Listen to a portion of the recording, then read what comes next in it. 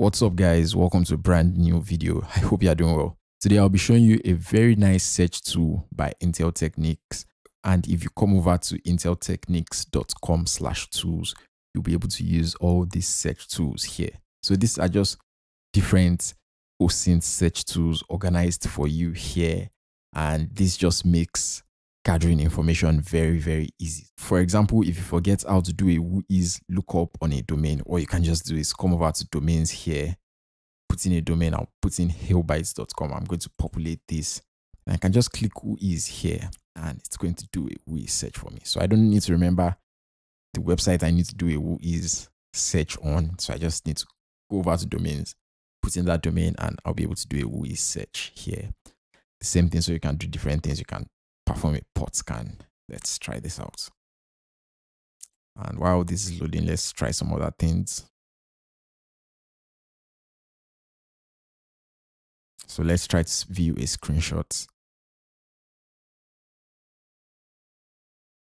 So for the port scan, we have HTTP and HTTPS open. So that's a very simple port scan. And this is just queries, search queries done for you right in your browser on the web and this tries to take screenshot and this is a very nice tool very easy osint tool to use. I discovered this recently and i'll be using this a lot. So let's check out another category. I'm just going to check out documents. Let's see hailbytes. Let's populate all. Let's search for pdfs so we get some pdfs here. So this is a pdf on the hailbytes GoPhish framework. And this just makes osint easy. This does some google dorking for you. So if you don't remember how to do Google Dorking, this will just do that for you. Let's do it on the main domain. Let's populate all. Let's search for PDFs and we get more results here. So let's check out email addresses. Let's see what we can do with that. Email addresses. I'll just search for info at hailbytes.com. Let's populate this. Let's see scam search. Let's check uh have I been pwned and this doesn't load because the query probably because the query of have I, have I been pwned has changed.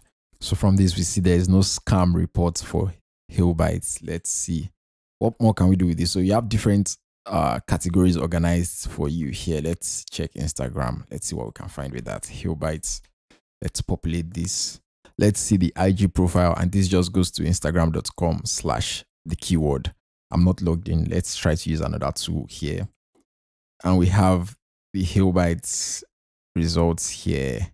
And this is an Instagram tool that just puts in Hailbytes as the search term and just makes some searches for us. You can see the followers and the following here. And this is a very, very neat uh, OSINT tool. So this, let's see, communities. We have different communities here. You can search Reddit, you can search 4chan, TikTok, Meetup, eBay, Pinterest, Discord.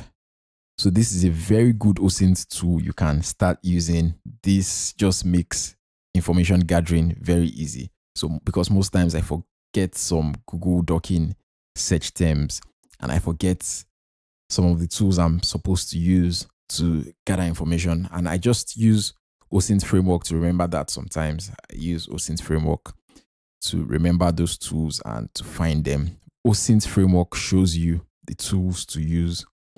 But the interesting thing about Intel Techniques is that it does the searches for you. And that's just very cool. So this is how to use the Intel Techniques tool sets. And I hope you enjoyed this video and I hope you learned something from this. Did, don't forget to like, comment, share, and subscribe. If you have any questions about this, leave them in the comments below. Don't forget to also follow us on LinkedIn, Hailbytes. The links to that will be in the description below.